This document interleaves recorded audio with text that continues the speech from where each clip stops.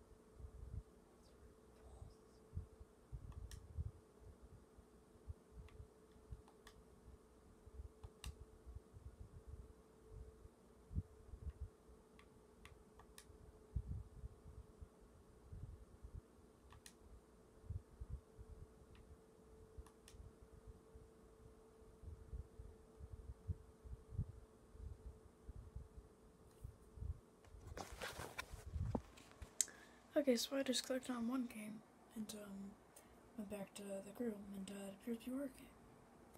Yep, it's working. Cool. So there's that black screen for a little bit. Might add some music on that. Don't know. Um, so yeah. There's my feet, by the way. Nobody wants to see that.